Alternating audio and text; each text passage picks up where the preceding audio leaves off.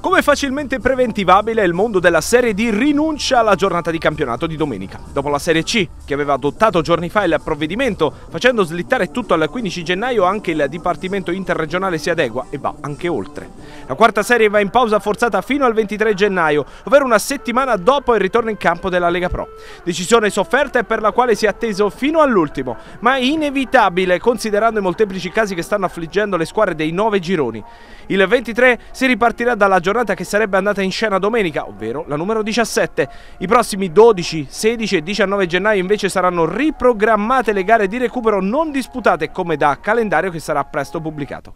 Con Vastese e Notaresco che devono recuperare i loro incontri rispettivamente con Monte Giorgio e Castelfidardo. Match in programma questa settimana ma che hanno avuto un ulteriore rinvio. La decisione è stata presa tenendo conto dei numerosi rinvii chiesti dalle società, sia per le gare di recupero che per quelle in programma domenica, per accertate e documentate positività dei calciatori facenti parte dei gruppi squadra un provvedimento necessario per evitare ulteriori e numerose gare di recupero. Nel frattempo le squadre in ogni caso potranno continuare a svolgere l'attività nel rispetto delle norme sanitarie vigenti e da quelle che saranno emanate successivamente al 5 gennaio, ovvero di prossima entrata in vigore, previste per l'attività di interesse nazionale dei protocolli FIGC. D'altronde, nel solo girone F, considerati i contagi allo stato attuale, sarebbero state 6 su 9 le gare da non disputare, troppo perché non si arrivasse allo stop. Nel computo complessivo sarebbero state 59 su 85 le partite che non avrebbero visto il fischio iniziale domenica.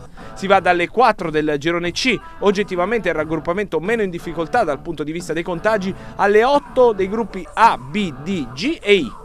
Ieri tuttavia, nel momento in cui il Dipartimento stava decidendo per lo slittamento di due settimane nel girone F, è andato in scena il recupero tra Vasto Girardi e Trastevere, col successo per 3-1 dei Molisani, che spianano la strada ad una recanatese che nel momento in cui si tornerà in campo ripartirà con 5 punti di vantaggio sui laziali. Un bottino cospicuo e che la formazione di Pagliari potrà gestire. Intanto, per il momento, la diva in ferie forzate, sperando che alla ripresa il ciclone Omicron abbia già esaurito la sua carica.